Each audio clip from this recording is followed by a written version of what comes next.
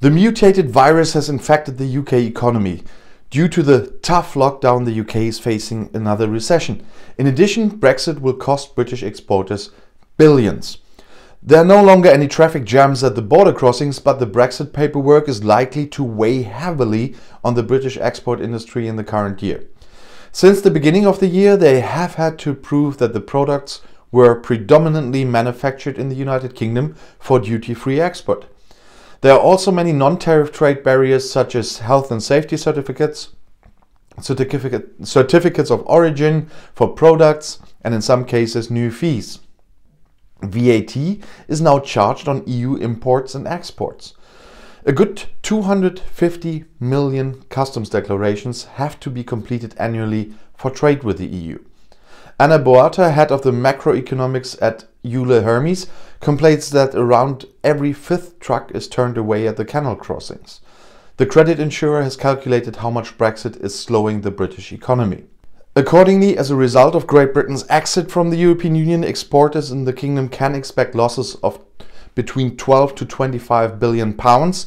That's the equivalent of 3.5 to 28.1 billion euros. This corresponds to a loss of 0.6 to 1.1 percentage points of annual GDP. The total volume of UK exports to the EU is estimated at 165 billion pounds.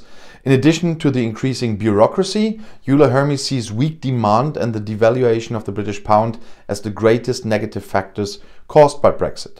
According to their forecast, the British currency is likely to lose 3% of its value this year. In 2021, Euler Hermes estimates that British economic output will only grow by 2.5% due to the Brexit transition period and the pandemic. In the first quarter, GDP will collapse by 5.5% compared to the previous quarter and plunge the UK into another recession. In the past year, the British economy is expected to have shrunk by 11%. The companies that trade in mineral and metal products are likely to suffer most from Brexit. According to the study by Euler Hermes, machine builders, electrical appliance manufacturers, transport equipment companies, and the chemical and textile industries are also most affected. Despite the drop in sales, however, concerns about an interruption in the supply chain are less justified than previously assumed, the study continues. A recent survey on the supply chain found that British companies are already trying to relocate their supply chain closer to their home country. More than a third of them are looking for domestic suppliers. Conversely, the burdens on the European export economy are not as great as originally assumed. Euler Hermes puts the losses for EU exports to Great Britain at 10 billion euros. Originally, the credit insurer assumed charges of about, what was it, 18 billion euros. The six month transition period creates planning security and halves export losses, explained Euler Hermes. The German export industry is hardest hit with losses of around 2 billion euros. British Prime Minister Boris Johnson has dismissed the delays that are currently occurring at ports and borders due to new controls and clearances as transition problems that will soon be resolved.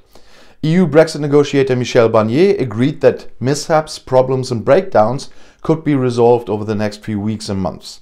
In the Financial Times, however, he also emphasized that both sides would have to get used to the new necessities. This agreement will not be renegotiated. It must now be implemented, said Barnier.